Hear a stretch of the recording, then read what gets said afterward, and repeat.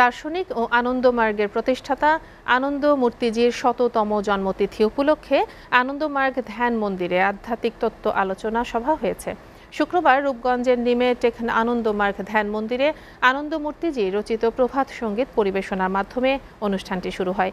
এরপরেই পরিবেশিত হয় অষ্টাক্ষরিক মহামন্ত্র কেবলম, কীর্তন আধ্যাত্মিক ধ্যান সাধনা ও বিশ্বের মঙ্গল কামনায় প্রার্থনা সভা।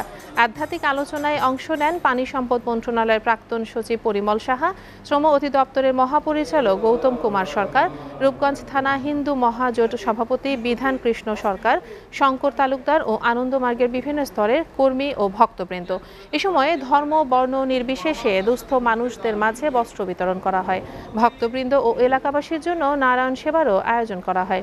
এই অনুষ্ঠানে সভাপতিত্ব করেন আনন্দমার্গ প্রচারক সংঘ বাংলাদেশের সভাপতি আচার্য সুজিতানন্দ অবদূত